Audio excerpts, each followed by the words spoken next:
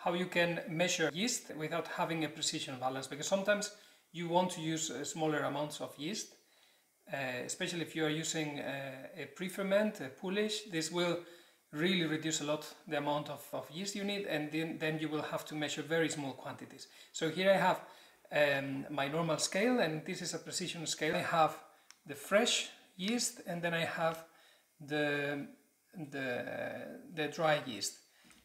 The difference is that in any recipe you can transform fresh yeast into dry yeast by dividing by 3 and vice versa. Dry yeast into, into fresh yeast multiplying by 3.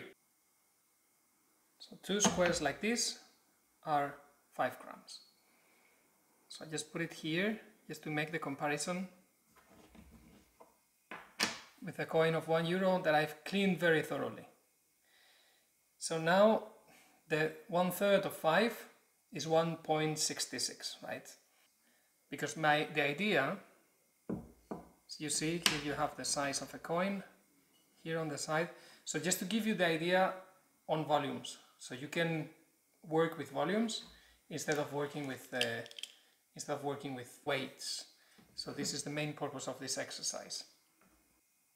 1.66 is almost one teaspoon. You can use one teaspoon. I think that will do. Two grams.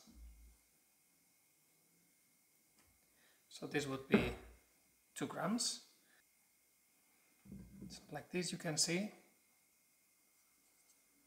how much is 0.66 grams. So like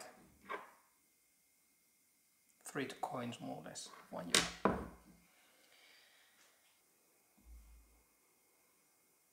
A cube like this is like one gram.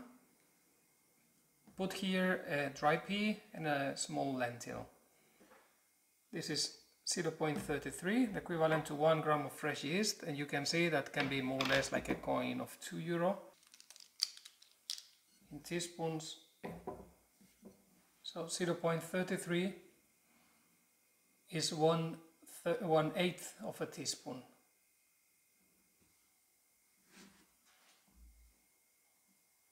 Okay, this is approximately, this is half gram, so it's half of what we had before. So now the size of the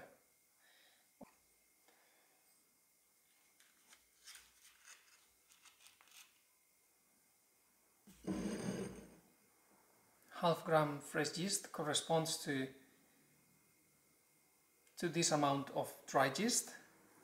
That can be we have a bit of an imagination a bit of, of imagination. Could be in surface more or less like one euro coin. Okay, so this is a bit more than 0.2, will be good for the example. Starting to reach the shape of the dried pea, which I would say is like a good pinch of dried yeast. Okay, so there you are. I hope this was helpful.